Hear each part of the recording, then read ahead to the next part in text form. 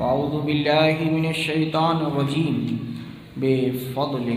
करम बिस्मिल्लाहिर्रहमानिर्रहीम या अय्युहल्लज़ीना आमनुत्तक़ुल्लाह वकूनु मअस्सादिक़ीन सदक़ल्लाह सदक़ल्लाहुल मौलानल अज़ीम व सदक़ रसूलुहुन नबियुल अमीनुल मतीनुल करीम वनहनु अला ज़ालिका लमिन शाहिदीन व शाकिरीन वल्हम्दुलिल्लाहि रब्बिल आलमीन इन्नल्लाह व मलाइकतहु युसल्लूना अलन नबी या अय्युहल्लज़ीना आमनु सल्लु अलैहि व सल्लिमु तस्लीमा अस्सलातु वस्सलामु अलैका या रसूलल्लाह सल्लल्लाहु तआला अलैहि वसल्लम सुबहान रब्बिका रब्बिल इज्जति अम्मा यसिफून व सलामुन अलल मुरसलीन वल्हम्दुलिल्लाहि रब्बिल आलमीन। बहक ला इलाहा हर हर आशिक रसूल, बारगाही रसूल व आली रसूल में झूम झूम कर व आवाज़ बुलंद दरूद पाक पढ़ें। अल्लाहुम्मा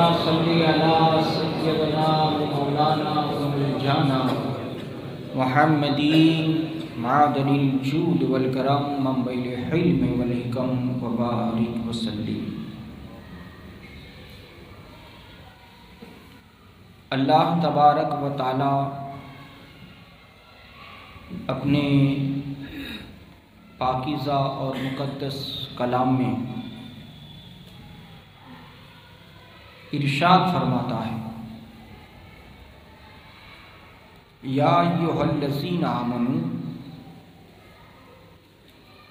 ईमान वालो,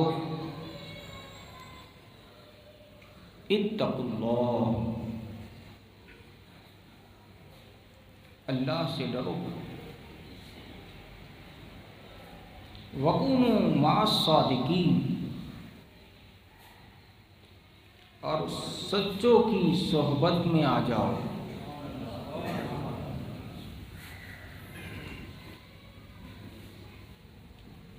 कुरान मजीद व फुरकान हमीद का ये एजाज़ है।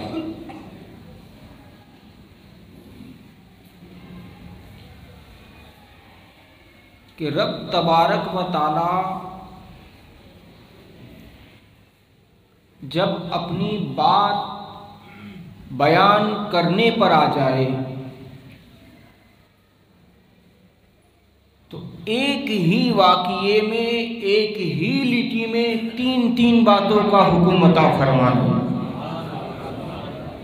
ये कुरान पाक का एजाज़ है। आयत बड़ी मुख्तसर है, बिल्कुल छोटी सी है।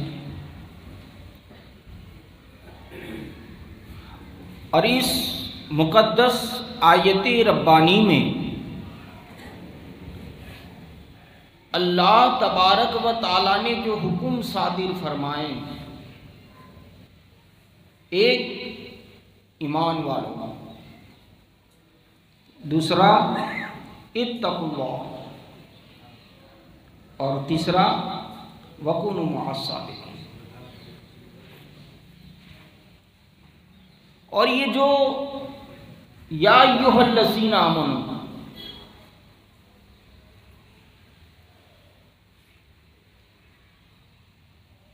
रब तबारक व ताला। जब मुस्तफ़ा जाने रहमत से पहले जितने भी कमोवेश अम्बियाए कामिलीन इस धरती पर तशरीफ़ लाए तो उन अम्बिया व मुरसलीन को जब पुकारना मकसूद होता, तब रब तबारक व ताला नबियों को ईमान वाला कह के पुकारा करता था। ये मुस्तफ़ा का सदका है कि उम्मत मुस्तफ़ा को अल्लाह वाहदहुला शरीक फरमाए आए ईमान वालों। ईमान वाला, ये उम्मत मुस्तफ़ा के लिए खसूसी लकब है। अल्लाह ने खसूसियत के साथ मखसूस उम्मत मुस्तफ़ा को इस लफ्ज के साथ, इस लकब के साथ इरशाद फरमाया ईमान वालों। और ये एजाज की बात नहीं है दोस्तों। अगर आपकी पहचान किसी अच्छे से हो जाए, कोई आपसे बेहतर, कोई आपसे बड़ा, कोई आपसे अच्छा रुतबे के मकाम से, मकाम के मकाम से, अजमत के मकाम से, अगर आपको नाम से पुकारे तो आप फूले नहीं समाते कि फलाना मानस मुझे नाम से जानता है। क्या बात करते हो? उसका तो मुझ पर फ़ोन भी आता है। क्या बात करते हो? फला मुझे बिल्कुल चेहरे से, फ्रेश से पहचानता है। यानी कि एक दुनियादार, एक दुनिया वाले को पहचान तो फूले न समाओ। यहाँ तो सारी कायनात का पालनहार तुम्हें ईमान वाला कह रहा है सारी कायनात को पैदा करने वाला, सारी कायनात की तख्लीक करने वाला, तुम्हें ईमान वाला कह के पुकार रहा है। अ ईमान वालो! वैसे ईमान, ये लफ्ज़ वज़न के एतबार से, लंबाई, चौड़ाई के एतबार से बहुत छोटा है। ईमान, अलीफ या, मीन और नून। और वाव ये चार पाँच हरूफ का मजमुआ मिला। तो लफ्ज हो गया आ आमनू। ईमान। पर ये ईमान कहते किसे हैं? ईमान किस चीज़ का नाम है? वैसे उमूमी तौर पर हर बंदा कलमा गो है, कलमा पढ़ता है।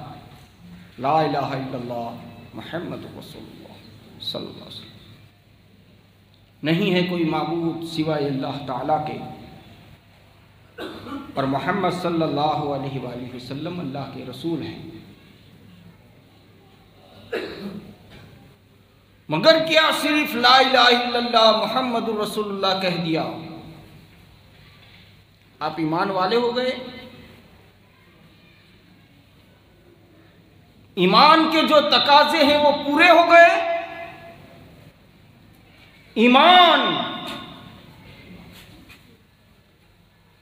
नाम है रसूल अल्लाह की हर जाहिरी और हर रसूल ने जो गैप बताए, उन बातों पर ईमान लाना, उन बातों को मानने का नाम ईमान है।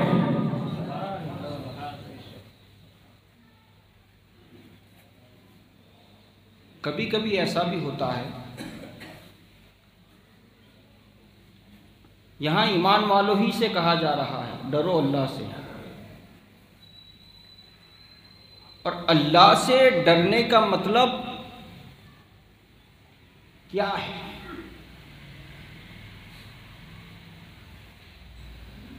अल्लाह से डरने का मतलब ये है कि किसी की गिबत करते हो तो रुक जाओ। अल्लाह देख रहा है। किसी की चुगली करते हो तो रुक जाओ। बुराई किसी की ना करो, किसी की चुगली ना करो। इधर की बात उधर ना पहुंचाओ। इसको चुगली कहते हैं। आप मुझसे किसी के बारे में सुनो। और मेरी इसी बात को मैंने जिसके बारे में कहा, उसके पास जाकर आप कह दो कि, पिंटू बापू, तुम्हारा विषय आहू कहता था। तो ये चुगली। चुगली करते हो तो रुक जाओ। आप बात बात पे झूठे हो, झूठी, झूठ बोलते हो। झूठ बोलना बंद कर दो।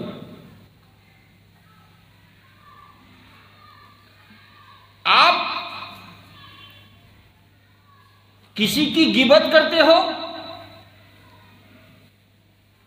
फलाना इंसान ऐसा करता है। गिबत कहते ही उसे हैं, जो उसके अंदर मौजूद हो। उस बात को उसकी पीठ के पीछे लोगों के सामने बयान करना इसका नाम गिबत है। अगर आप ईमान वाले हैं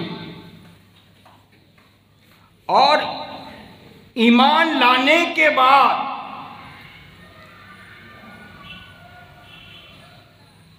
अल्लाह से डरते हैं। तो आप उन बातों से परहेज करो। ये जाहिरी बात है। रसूल अल्लाह सल्लल्लाहु अलैहि वसल्लम फरमाते हैं कि कब्र में अंधेरा होगा। आप ये काम करोगे तो इस काम के एवज में कब्र में अल्लाह ये सजा देगा।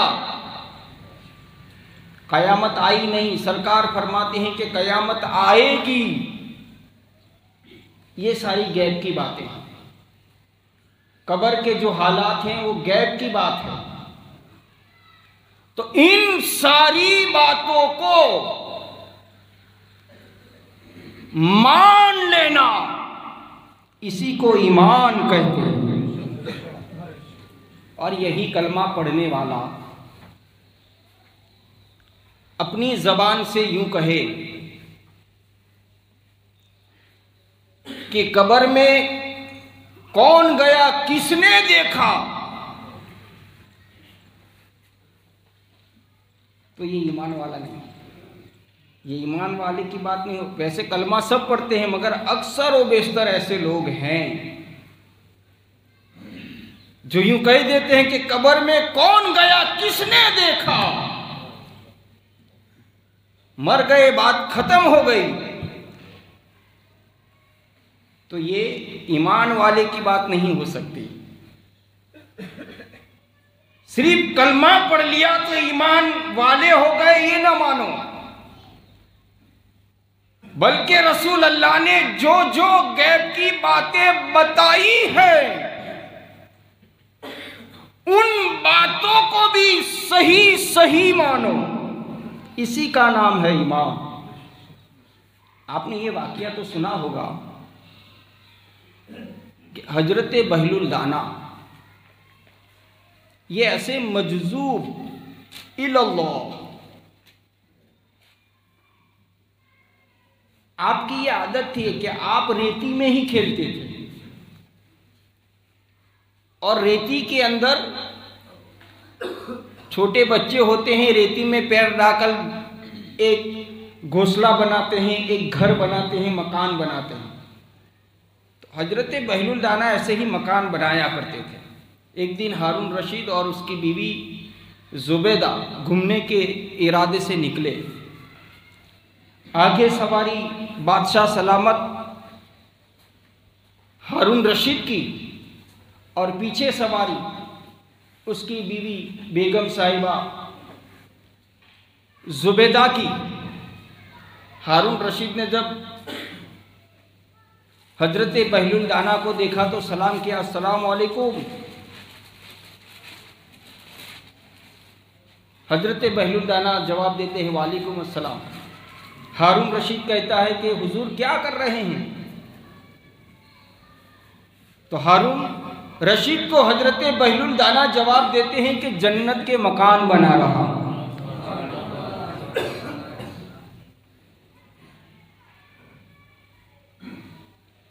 हारून रशीद कहता है कि, हुजूर, जन्नत के मकान क्या करोगे? कहा, कोई खरीदार आएगा तो बेच दूँगा। बेच दूँगा। हारून रशीद कहता है, क्या कीमत रखी है? कहा, एक दिरम एक रुपया। हारून रशीद ने सोचा कि मस्तान मानस है, ये अपनी तरफ़ से कोई लवरी करता होगा। ये सोच के आगे गुजर गया। पीछे उसकी बीवी जुबेदा पहुँची। देखा कि हज़रत तशरीफ़ फरमाए, सलाम किया। पूछा, क्या कर रहे हैं? कहा, जन्नत के मकान। क्या करोगे? कहा, बेचूँगा। कहा, कीमत क्या है? कहा, एक दिरम एक रुपया।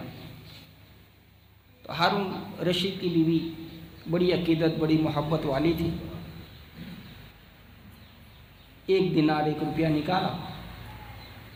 हज़रत बहलुलदाना के हाथों में दे दिया। बहलुलदाना कहते कि अल्लाह मैंने इसको मकान दे दिया है, इसको तू जन्नत में महल अता फरमा हारून रशीद और उसकी बीवी जुबैदा खातून घूम फिर कर इधर उधर तफरी करके अपने महल में आए, रात का सन्नाटा हुई और रात की तारीख ही हुई। हारून रशीद सोता है। हारून रशीद क्या सोता है? इसकी जाहिरी आँख बंद होती है और बातीन की आँख खुल जाती है। उसकी आँखों के सामने ज़बरदस्त जन्नत का नज़ारा। ऐसे जन्नत देख रहा है। जैसे मैं आपको लाइव देख रहा हूँ। आप मुझे लाइव देख रहे हैं। आप मेरे सामने हैं। मैं आपके सामने हूँ। ऐसे ही आलम खौब में जन्नत का नज़ारा टहलता है, घूमता है, फिरता है। अपनी नज़रों को ऐसे ऐसे ऐसे दौड़ाता रहा है, दौड़ाता रहा हर महल, एक महल को देखो, उससे बढ़कर दूसरा महल। उस महल को देखो तो उससे बढ़कर दूसरा महल। अजीम शान, जन्नत का नज़ारा, हारून रशीद, वक्त का सुल्तान, वक्त का बादशाह। करते करते, ऐसे नज़ारा करते करते, एक महल पर नज़र पड़ी तो नाम लिखा था जुबैदा खातून। हारून रशीद खुश हो गया कि मेरी बीवी का नाम जन्नत के महल पर? ये तो मेरी बीवी का महल है। दौड़ा। देखूँ तो सही कि मेरी बीवी का कैसा महल है। दारोगाए जन्नत जन्नत के चौकीदार ने हाथ को थामा। रुक जा। कहाँ जाता है? हारून रशीद कहता है मेरी बीवी का मकान है। कहा, दुनिया में। दुनिया में ये कहकर धक्का दिया। आँख खुल गई। बची कुची रात करवटे बदलते बदलते बदलते बदलते सुबह हुई। सुबह हुई, खादिमों को हुक्म दिया कि हमारी सवारी तैयार करो। खादिम कहते कि हुजूर कहाँ का इरादा है? कहाँ जाने की आरज़ू? सुबह सुबह। कहा हम बहलुल दाना से मुलाकात करेंगे? बहलुल दाना से मुलाकात करेंगे। उस वक्त जब बहलुल दाना अपनी सवारी के साथ दरियाए दजला के किनारे पर पहुँचा तो क्या देखता है कि वक्त का वली कामिल, वक्त का मजूब अल्लाह का सच्चा और पक्का बंदा कल भी जन्नत के घर बना रहा था, आज भी जन्नत के मकान बना रहा है। पूछा, सलाम किया कि हुजूर, अस्सलाम वालेकुम बहलुल जवाब देते हैं, वालेकुम अस्सलाम। हारून आना कैसे हुआ? कहा, हुजूर कहा, हुजूर, कल भूल हो गई। आज क्या कर रहे हो आप? हारून, रशीद की को जवाब देते हैं बैलुलदाना कि कल जैसे जन्नत के मकान बनाता था, आज भी बना रहा हूँ। आज भी बना रहा हूँ। कहा, बेचोगे? कहा हाँ बेचने ही के लिए बनाए हैं। कहा, कीमत क्या रखी है? बहलुलदाना इरशाद फरमाते हैं कि आज की कीमत पूरी दुनिया की बादशाहत रखी है। पहलू दाना की बारगाह में हारून रशीद अर्ज़ करता है कि हुजूर, कल तो एक रुपये में जन्नत थी। आज पूरी दुनिया की बादशाहत की कीमत चुकाने की ताकत तो मैं रखता नहीं। कहा बहलूल, बहलुल दाना हारून रशीद को कहता है कि पहले कल तूने मैल नहीं देखा था। कल तूने जन्नत को नहीं देखा था। कल बगैर देखे का सौदा था। आज तू देख कर आया है। लिहाजा जब देख कर आता है, उसकी कीमत बढ़ जाती है। बढ़ जाती है। आप अंदाज़ा लगाए जो वक्त का बहलूल दाना तुम्हारे ख्वाब पर नज़र रख सकता है, वही बहलूल दाना कबर में रहकर तेरी ज़िंदगी पर भी नज़र रख सकता है। अल्लाह ने वो ताकत, वो अजमत अपने औलिया कामिलीन को अल्लाह ने अता फरमाई तो ये बात उन लोगों के लिए है कभी कभी लोग इनकार कर देते हैं। लोग कह देते हैं कि कबर में कौन गया और किसने देखा। अल्लाह अकबर। कबर में जाकर आज तक कोई वापिस नहीं आया तो वहाँ का हाल कैसे बयान हो सकता है? मगर याद रखें दोस्तों, सरकार फरमाते हैं कि जिस जगह पर आपको सोना है वो कबर वो कबर की जगह, वो ज़मीन, दीन में सितर मरतबा। अपनी कुख में आने वाले बंदे से यूँ कहती है अय ज़मीन पर अकड़ के चलने वाले, मेरी कुख में आ, फिर मैं बताती हूँ कि मैं क्या हूँ। अय शराब के नशे में तूथ रहने वाले, एक बार मेरी आगोश में आ फिर मैं बताती हूँ कि मैं क्या हूँ। ऐसो मस्ती में सरसार रहने वाले, एक बार मेरी कुख में आ जा। फिर मैं बताती हूँ कि मैं क्या इन बातों को मानने का नाम ईमान है। इन बातों का इनकार करने वाला कभी ईमानदार नहीं हो सकता।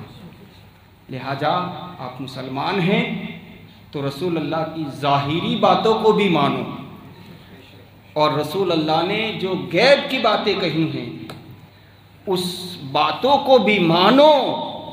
इसी मानने का नाम ईमान और ऐसा मानने वालों को अल्लाह इरशाद फरमाता है, अल्लाह से डर जाओ। वकून सादकीन, और सच्चों के साथ हो जाओ।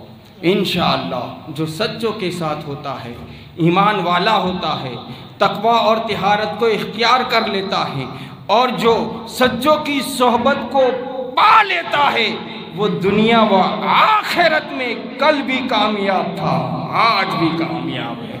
अल्लाह तबारक व हम सबको ईमान के साथ, अमल के साथ, और सच्चे लोगों की सोहबत के साथ ज़िंदगी गुजारने की तोफ़ी को रफ़ी कता फ़रमाएँ। वमाबलाग माशा टुंडा शाही जामा मस्जिद का बांधकाम बिल्कुल आखिरी स्टेज पर है। अल्लाह का लाख लाख शुक्र एहसान है कि रब तबारक व ताली ने हमसे ये सारे काम ले लिए हैं और दुआ है कि रब ताला हमसे ऐसे अच्छे अच्छे काम ता हयात ज़िंदगी लेता रहें। और माशा